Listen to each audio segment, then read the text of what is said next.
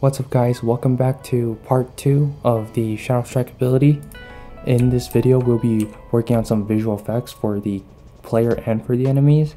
And so if I hit F, as you can see the character glows and it shows that the character is currently in a slow-mo time.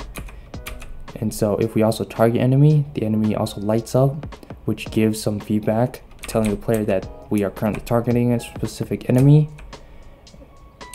and we'll also be working on building the framework for the teleporting and executions. Currently, if I click on a target, I just teleport to them. I won't be playing any animations. And as you can see, the visual effects are still there.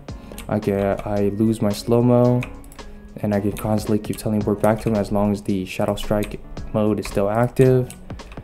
And there's some slight bugs and things that we will improve on in the next video. This video is gonna be quite long, so bear with me. We'll get things set up and we should be all finished by the next video. And if you want the access to these project files, you can join me on Patreon. So without any delays, let's get started.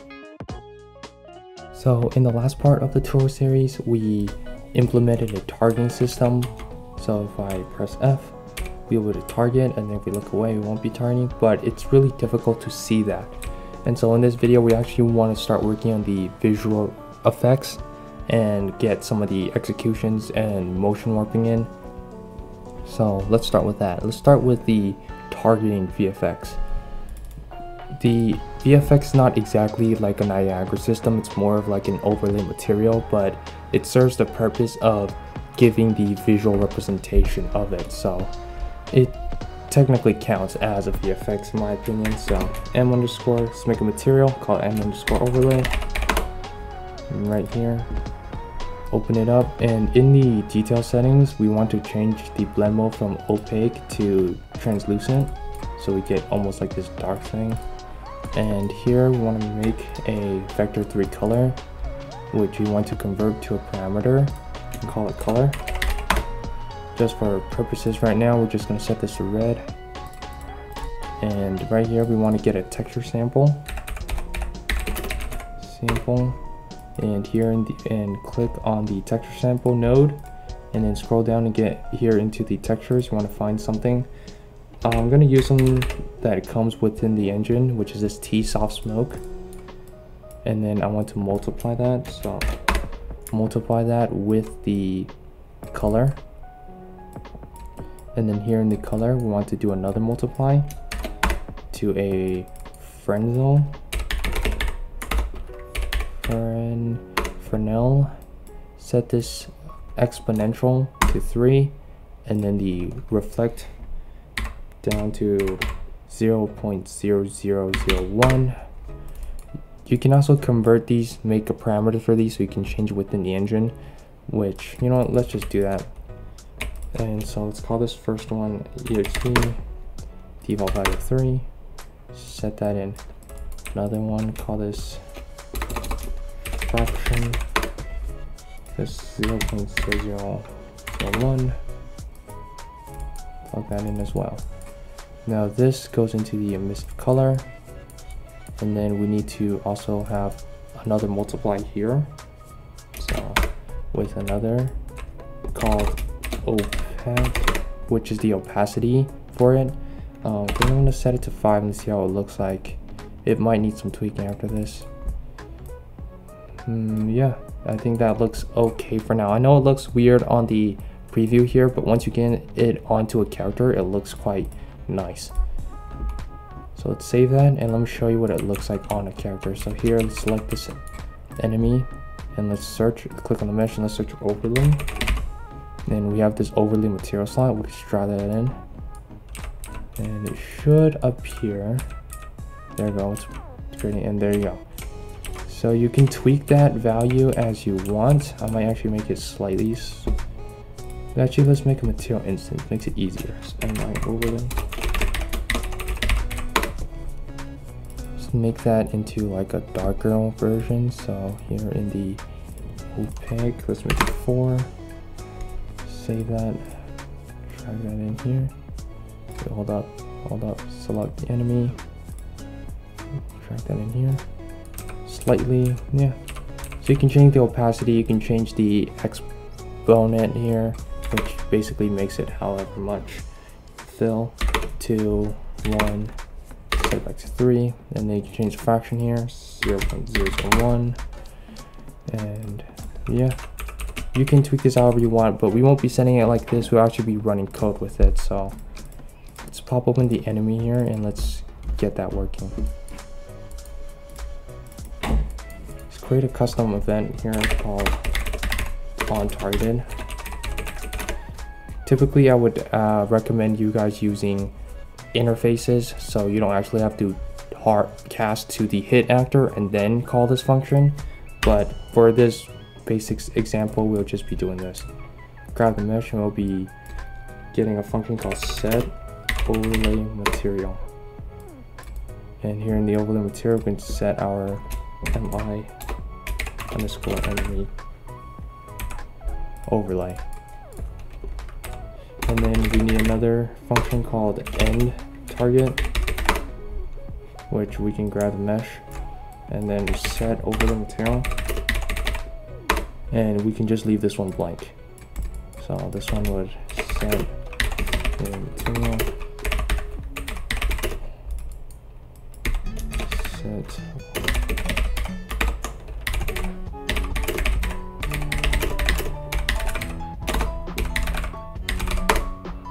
So now that we have that done, let's head over to the player and actually call and cast the hit actor to actually play that, to actually set that overlay material. So here, before once we hit it, we should actually do a, we should do a cast here. So cast to BP enemy.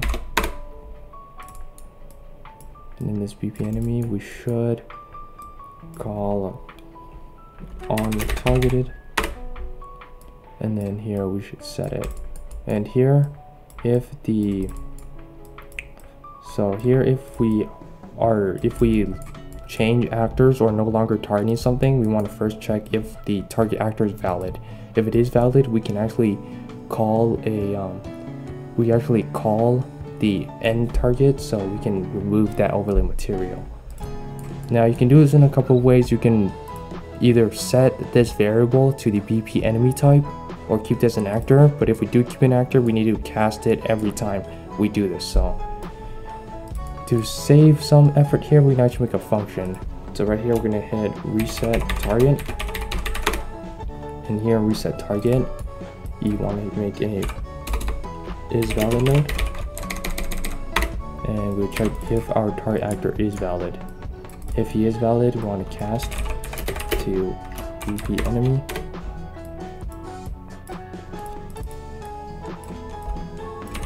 and then here we want to end target once we end the target we can clear the actor. Right here if it fails we should also clear as well. So now we don't actually need to do this. We can just remove this and remove this and we just call our function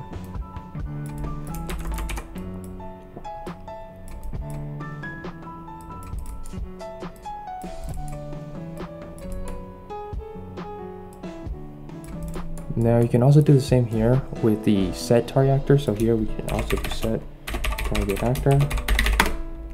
And we should take an input called actor. Type of actor. Right here we want to check if it is valid, which we actually we don't need to check if it's valid because usually we can we can just straight up cast to BP enemy. If the cast fails, either means that the actor is not a BP enemy class type or either the actor is not valid. So a cast could serve as an is valid node, but it's typically better to just use the is valid. But here we can use end target or setting the target so on targeted. And then we can set our target actor. If it fails, we won't be setting target actor, we'll just be ignoring it. So here we can remove all of this and we can call our set target actor function and then we can plug this in here.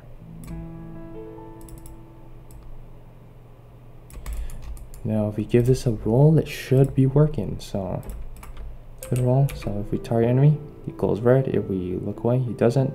Glows red, no. Now we can actually make this color a lot more brighter. Set this to like 50. There you go. And then change this opaque to maybe 5 again. 50 might be too much, but let's let's see. Oh, actually it looks pretty nice. So I'm gonna keep it like that. Now that we got a visual representation of who we're targeting, we can actually remove this. We won't be needing that anymore. Let's throw in some extra enemies and let's see this thing come to light. So throw an enemy up here. Throw an enemy over here. Should be able to target between the three of them. Whoops, that was the wrong key. Pull this off and then hit end. So now if we hit F, we can try this, and then we leave that, try that, try this, try that. Yep, everything seems working. Now here, we have the issue where if we end on a target, he doesn't lose that overlay material. And so here, we should start making functions for this. So here, we should collapse this function, call it start shadow mode. And so, as the name suggests, pretty much just sets the variable and just slows down time. And the one on the end here on the finish pin of our timer, we should collapse this to a function as well. Call this reset shadow mode or stop shadow mode.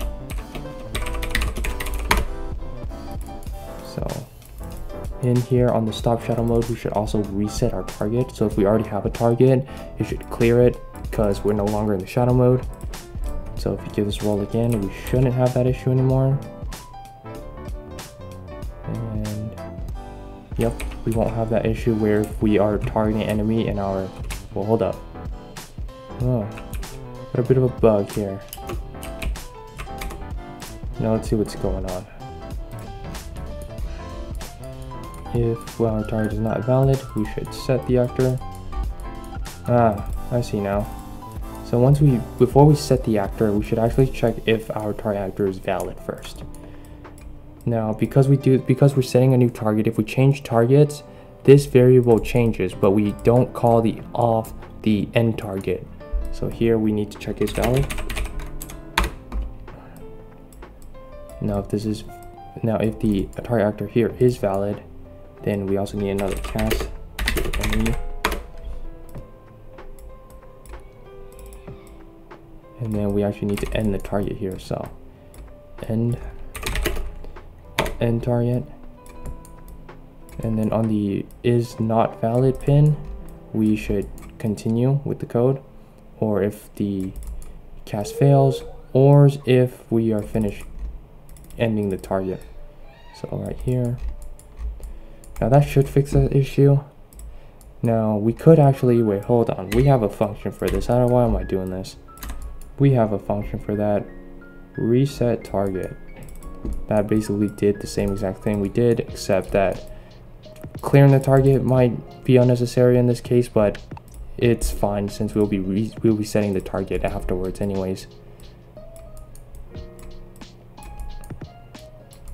So that should do the trick now let's get this wrong Yep, no, I don't think we'll get that issue. Yep, all our issues for now should be resolved. Great, now let's start with working on the visual effect for our character. So let's make a material instance, mi clear overlay. Here, I'm just gonna change the color, so I'm change the color to like bluish. And then change the brightness on this to 50 and I want to keep everything the same so maybe drop this down a little bit. Exponent should be fine. Now for the characters it's straightforward and it's the same idea. If we are in the shadow mode we should set the overlay. If we end it we shouldn't be. So set overlay material and you start? And we'll call this my player overlay. And then here on stop same thing. We should clear it. Two,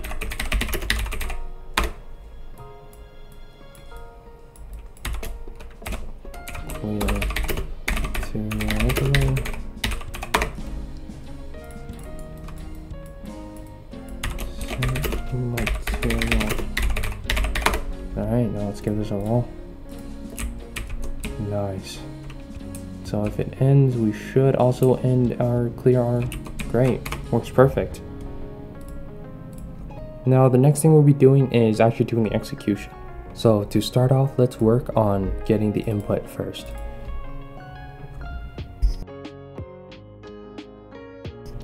So let's make a new input. So here in input, call it IA execute. This one will also have the same trigger as the other one uh, pressed. And let's add this to our mapping, input mapping. And I'm just gonna bind it to my left mouse button. Mm, that's the wrong one. Wrong one. Wrong one, wrong one. Wrong one. Add mapping then it should be execute and then we add my left mouse button now I can use any key you want. I'm just gonna use my mouse mouse button because it's more natural to me. So here let's call it IA execute. And here in execute we need to make sure of a couple of things. First we need to actually be in the shadow mode. And the second thing would be whether or not our target actor is actually valid. Now if these are both true, that means we have a target actor, we are in the shadow mode, we can execute an enemy. So here, we should good. Now here we'd actually start to code the functionality for the execution. So here, I'll get a set actor location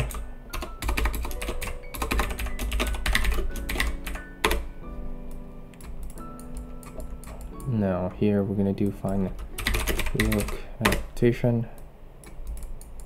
And then here we want to get actor location.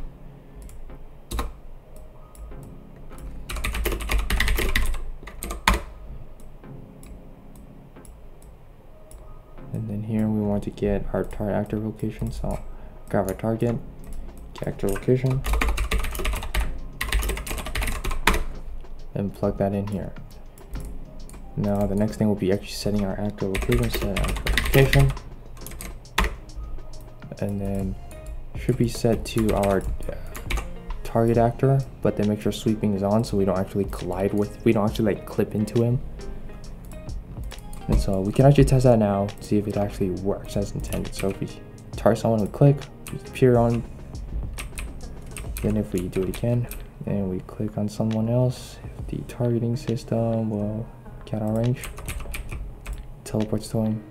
So it works, but we're still in this slow mode version, slow mode time. So to stop that, we want to reset our global time dilation. So set back to one. Now the reason why I'm not using N shadow mode is because I want to keep that overlay active while we're doing this.